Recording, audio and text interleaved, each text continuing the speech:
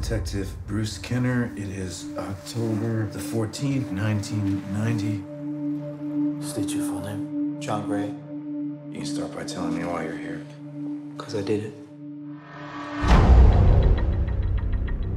He's repressed them. The memories are obviously in there behind some door. It's not that difficult to find a key and free them. Provoke a regression.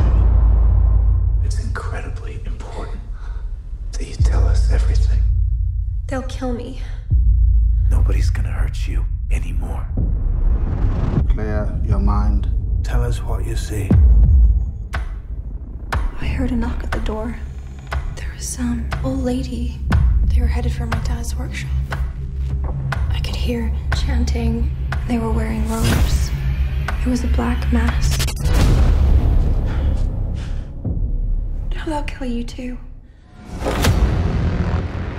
An FBI report.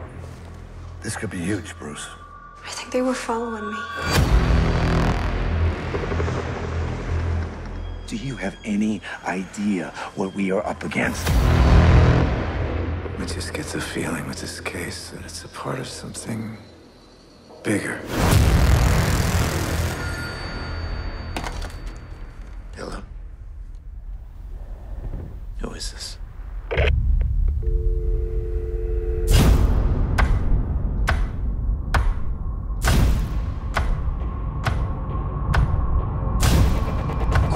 Praying and give me names. I just don't remember. Let me see your faces. I'm trying to find the truth. That's a lie.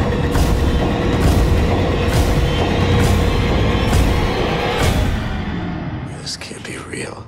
Of course it's not real.